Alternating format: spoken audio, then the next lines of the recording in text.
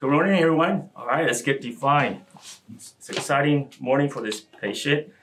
She's gonna have an amazing change. So we're doing abdominoplasty with some liposuction, and we're gonna take some of the fat and we're gonna do some body augmentation with that fat.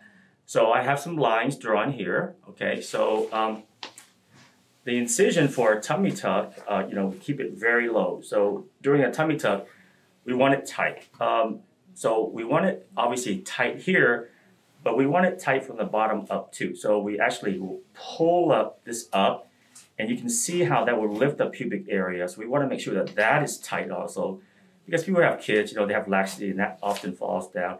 And so you want to make sure that that gets pulled up too and this gets pulled down. So this is actually the amount of skin that we're going to remove, this section here. And so this skin will have to come down and close everything.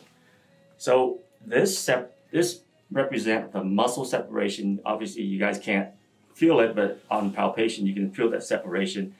And so this represent the sutures that we're gonna use to suture everything together. You know, that internal corset that that you uh, associate with abdominoplasty.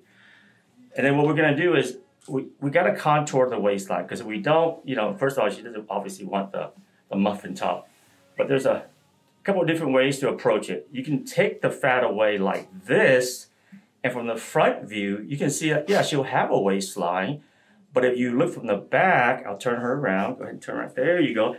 You can see that she's still kind of square from the back. So a lot of work is, you know, go towards making her waistline small. And so what we do is we take away all this fat, okay? And even this low sacral fat pad. Now, you may wonder, well, if you do take a lot of fat out from the stomach, the stomach skin will sag. Don't you think the skin back here will sag and make her butt drop more? Actually, no, it's just like the opposite.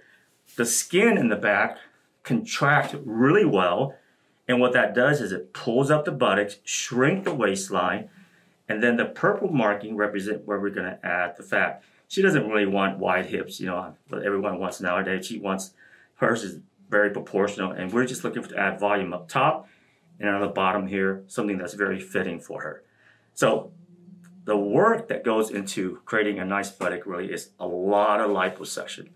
Because if you don't really remove all the fat here and have have a smooth back, nice contour back, small waistline, then you're not going to have a great buttock. You, you have to have a small waistline to create that volume in the buttocks. And so that's the BBL, Brazilian butt lift, and that involves just a lot of liposuction. And then we take some of that fat and we're gonna probably, she's gonna end up probably around, but it's all said and done, about four or 500 cc of fat in each buttocks. I think she's gonna do fantastic. All right.